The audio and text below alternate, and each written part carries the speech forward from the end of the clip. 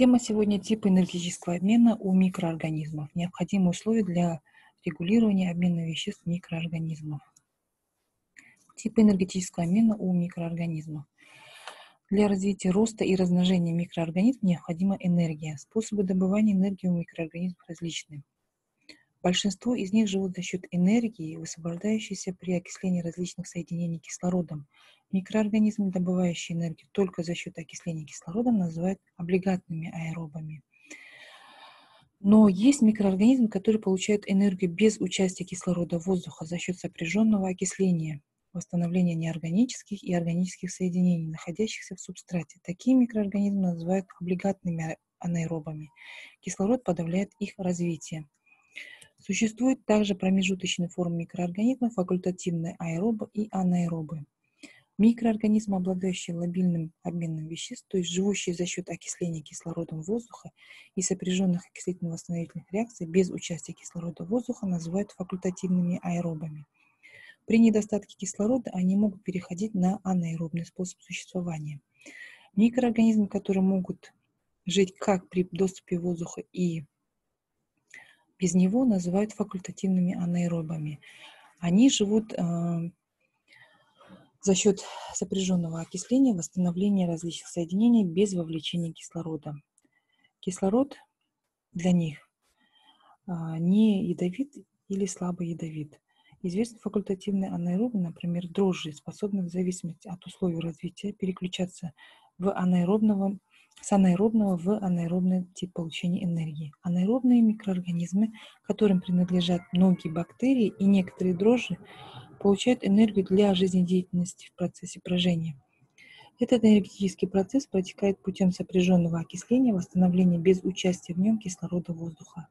Акцептором водорода, отщепляемого от окисляемого органического соединения взамен молекулярного кислорода, служит промежуточный продукт распада того же органического вещества.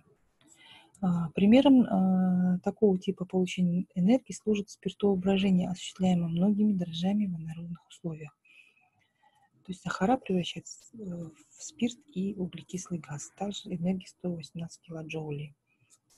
Молочно-кислые бактерии являются факультативными анаэробами, без участия кислорода осуществляет молочно-кислое брожение, которое заключается в превращении молекулы глюкозы в две молекулы молочной кислоты с выделением энергии.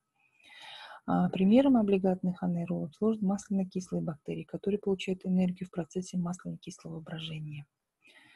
Так, факторы, регулирующие обмен веществ микроорганизмов. А, чтобы культура микроорганизмов могла нормально расти, размножаться, осуществлять биосинтез какого-либо вещества, необходимы оптимальные условия для окружающей среды. Одним из факторов является питательная среда. Питательная среда микроорганизмам требует целый ряд необходимых элементов питания – углерод, азот, фосфор, макро- и э, микроэлементы, биологически активные вещества. Второе. Для микробиологических процессов большое значение имеет реакция среды. А, для каждой культуры микроорганизмов есть свои пределы оптимума, максимума и минимума pH. Так, ацидофильным микроорганизмам, некоторые плесени, дрожжи, бактерии необходим pH от полутора до четырех с половиной, нейтрофильным pH 6,5-8 и базофильным pH 8,5-9,5 то есть э, щелочная среда. Но большинство микроорганизмов лучше всего развиваются в нейтральной среде при pH 7. Третье. Большое значение в жизнедеятельности микроорганизмов имеет кислород. Для аэробных микроорганизмов он жизненно необходим, а для анаэробных является ядом.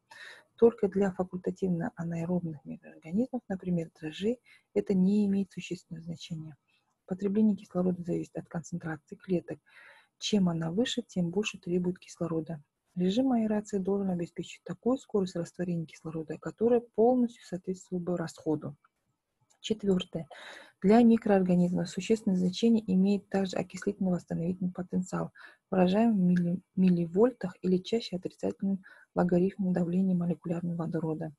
Степень э, аэробности или анаэробности может быть количественно характеризована величиной окислительно-восстановительного потенциала. А, пятое. Очень велико значение температуры для роста и развития микроорганизмов. Большинство используемых в промышленности микроорганизмов по отношению к температуре являются мезофилами. Их развитие происходит при 25-37 градусах. Психрофильные микроорганизмы растут в интервале 0-15 градусов, а термофильные в интервале 55-75 градусов. Все перечисленные микроорганизмы имеют промежуточные формы. Обычно при повышении температуры процессы биосинтеза интенсифицируются, если это повышение не ингибирует определяющие биосинтез ферменты. При температуре 70 градусов большинство вегетативных микроорганизмов гибнет за 1-5 минут. Шестое. Нормальное функционирование клетки, то есть обмен веществ, рост и размножение, может происходить только тогда, когда в ней содержится достаточное количество воды. Клетки погружены в водную среду с растворенными в ней питательными веществами.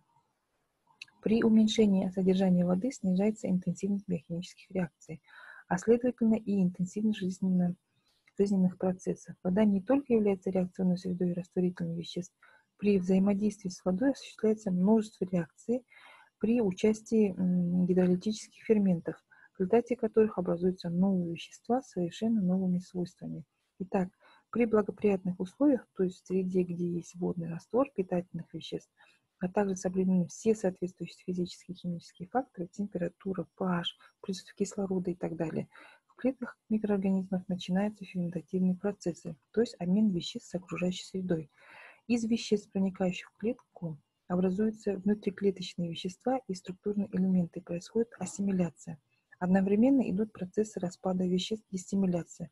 Если процесс, первые процессы преобладают над вторыми, наблюдается рост клетки. Достигнув определенных размеров в соответствующей фазе развития, клетка может начать размножаться. Скорость размножения зависит как от видовых свойств культуры, так и от условий окружающей среды. Спасибо за внимание.